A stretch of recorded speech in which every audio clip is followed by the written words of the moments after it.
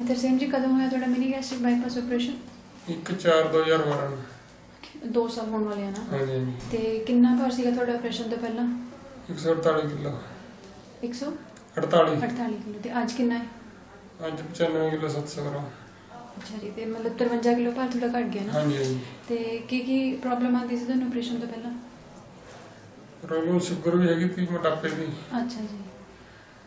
ਔਰ ਖਰੜੇ ਆਉਂਦੇ ਤੇ ਕਰਾੜੀ ਵਸਦੇ ਸੀਗੇ। ਹਾਂ, ਸਾਹ ਵਗੈਰਾ ਚੜਦਾ ਸੀਗਾ?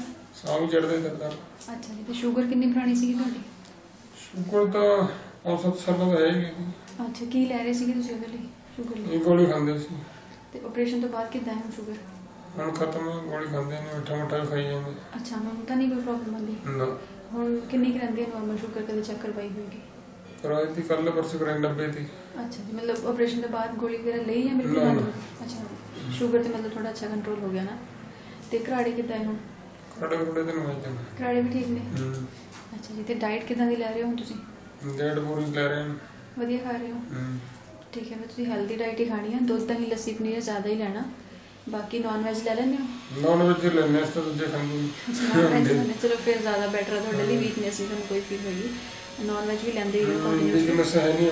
ਹਾਂਜੀ ਤਾਂ ਹੀ ਫਿਰ ਤੁਹਾਡੀ ਡਾਈਟ ਵਧੀਆ ਨਾ ਤੇ ਬਾਕੀ ਮਲਟੀ ਵਿਟਾਮਿਨ ਲੈਣਾ ਤੁਸੀਂ ਆਪਣੇ ਹਾਂ ਲੈ ਠੀਕ ਹੈ ਉਹ ਵੀ ਰੈਗੂਲਰ ਹੀ ਲੈਂਦੇ ਰਹੋ ਤੇ ਸਾਲ ਦੇ ਵਿੱਚ ਇੱਕ ਵਾਰੀ ਆਪਣੇ ਬਲੱਡ ਦੇ ਟੈਸਟ ਵੀ ਜ਼ਰੂਰ ਕਰਵਾਇਓ ਤਾਂ। ਕਿ ਕੋਈ ਅਗਰ ਸਰੀਰ 'ਚ ਕਮੀ ਹੋਵੇ ਆਪਾਂ ਨੂੰ ਪਤਾ ਚੱਲ ਜਾਵੇ ਠੀਕ ਹੈ ਜੀ। Thank you